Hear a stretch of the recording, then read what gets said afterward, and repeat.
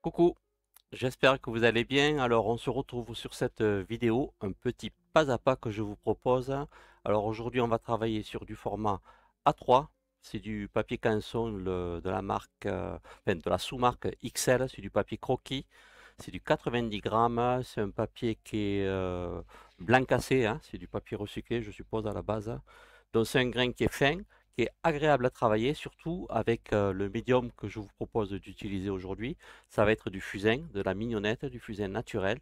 La mignonnette, c'est un des diamètres les plus petits en fusain naturel. Hein. On va voir ça ensemble. des crayons comptés à Paris en fusain, on va utiliser le HB, de la, certainement de la pierre noire pour faire cette étude. Une étude que je vais vous proposer à partir de ma tablette.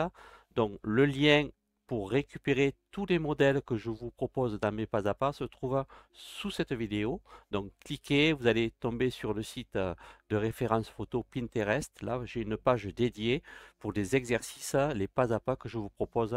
Donc vous suivez cette vidéo et de votre côté, vous essayez avec, euh, par rapport à votre niveau, euh, votre motivation surtout, à refaire le même type de pas à pas que je vous propose. En tout cas, tel que je vous le propose, en six étapes, en dessin au clair-obscur. Allez, on va attaquer. Pour cela, je vais d'abord sélectionner sur ma tablette, sur mon, ma petite application, un modèle que j'ai prêt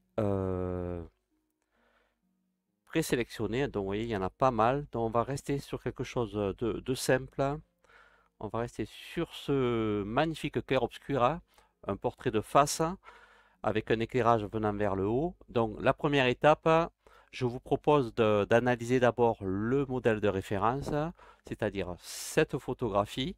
On va voir, on va d'abord étudier la lumière ou les lumières, comment elles impactent sur le, le modèle du visage et comment on va pouvoir le retranscrire sur notre papier d'esquisse, d'accord? Donc ici, on l'a vu précédemment, une lumière principale qui vient du haut, qui va éclairer le sommet du crâne jusqu'à la partie supérieure des cavités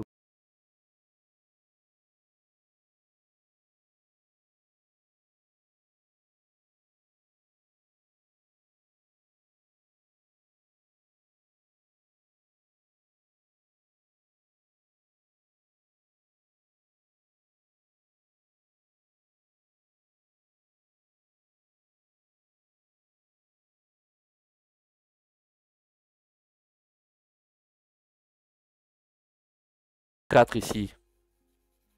Ben, je l'affine.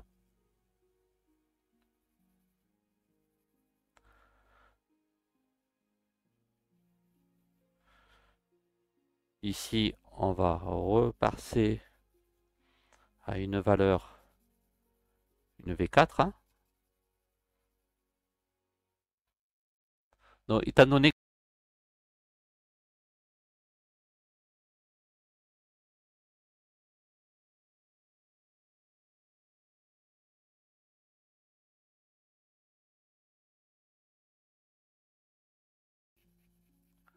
selon euh, l'endroit où vous faites euh, votre travail euh, graphique,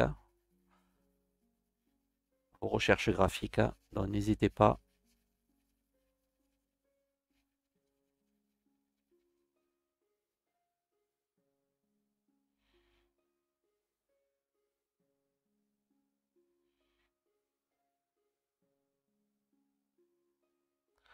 Voilà, toujours à tapoter ici, à affiner.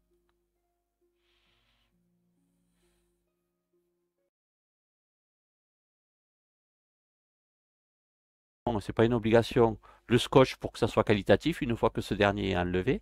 Donc travailler sur ce papier canson en XL, la marque XL chez Canson, avec euh, la mignonnette, uniquement la mignonnette, six étapes pour obtenir ce, ce, cette étude au clair-obscur. Je ne sais pas combien de temps, mais généralement, je vous dis, avec de l'habitude, en 20-30 minutes grand maximum, vous arrivez à faire euh, ce genre d'études, surtout avec des modèles basiques tels que je vous l'ai présenté ici. D'accord? Je vous remercie d'avoir suivi cette vidéo et je vous dis à très très vite.